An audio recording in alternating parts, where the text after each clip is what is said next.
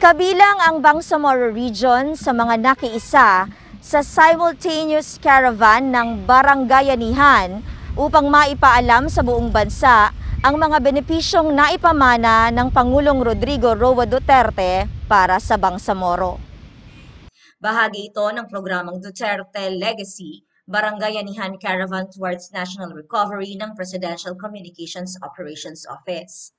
Sa headquarters ng Police Regional Office Bangsamoro Region sa bayan ng Parang Maguindanao, nagtipon ang mga kinatawan ng iba't ibang ahensya ng Bangsamoro Government bilang suporta sa layuning kilalanin ang mga mabubuting nagawa ng Administrasyong Duterte para sa mga mamamayang Bangsamoro.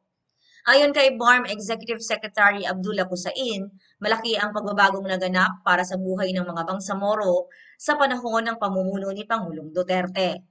Kanina, no, kung tingin kung tanungin kami kung ano yung pinakamalaking legacy ng president sa atin, ay una itong batas yung Republic Act 11054 nga na which is actually a translation of the political agreement, yung CAB into a law. So for us, sa ating mga Bangsamoro, uh, this law uh, symbolizes our aspirations and ito yung nakikita natin na pinakamalaking uh, legacy para sa atin. Nagbigay ng testimonya ang ilang beneficiaries ng development program sa BARM, kagaya ni Haji Alimuddin Malang, na dating miyembro ng Bangsamoro Islamic Freedom Fighters at isang Moro rebel returnee. Ang pagbabago ng aming pamumuhay, lupa at langit ang pagkakaiba. Sa ngayon, masarap na ang tulog namin dahil hindi na kami natatakot sa kapulisan at army dahil kasama na namin sila. Kaibigan lang, kaibigan na lang sila. Samantala, namahagi naman ng food packs at hygiene kits ang Project Tugon ng Warm Government sa higit dalawang daang identified beneficiaries mula sa transport sector at fishing community ng Parang Maguindanao na dumalo sa Barangayanihan Caravan.